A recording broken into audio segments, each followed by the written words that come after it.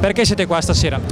Siamo qua a sostenere questa manifestazione, a sostenere l'operato delle forze dell'ordine, a chiedere al governo più attenzione per la sicurezza, per rimettere il tema della sicurezza dell'ordine pubblico dei cittadini al centro dell'azione del governo. Questo è un governo che si è occupato più di immigrazione che di sicurezza, ha stanziato 4 miliardi di euro per garantire vitto alloggio agli immigrati e non trova risorse per le forze di polizia.